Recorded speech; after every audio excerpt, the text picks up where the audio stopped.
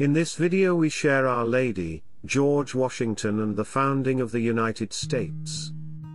Our Lady, who, under the title of the Immaculate Conception, is still today our national patroness, played an important role in the establishment of the United States and the life of our nation's most vital founding father, George Washington. It's believed Our Lady's intervention may have saved the life of General George Washington on several occasions, it's also recorded that she encouraged him at the most trying time of the American Revolution, appearing to him at his headquarters in Valley Forge during the terrible winter of 1777 and 1778. He later described her as a woman of singular beauty, and related how she said, Son of the Republic, look and learn.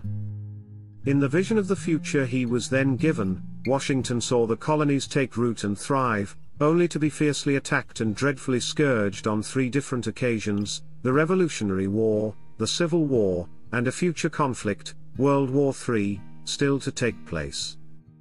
A painting of the Blessed Virgin Mary hung in the Washington's residence at Mount Vernon. George Washington was friendly with Catholics and was determined to defend their right to worship. He was friends with John Carroll, the first Catholic bishop of the United States. Washington was known to make the sign of the cross before his meals.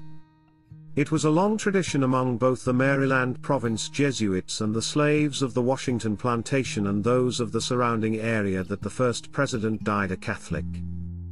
These and other facts about George Washington are reported in the Paulist Information magazine by Doran Hurley.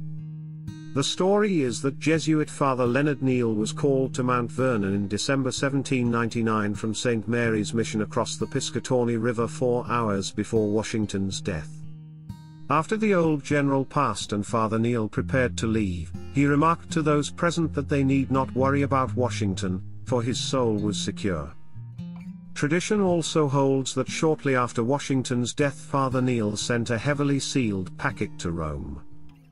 If this be true, it may yet turn up in the Vatican archives, or it may have been lost during the Jesuits' hidden years.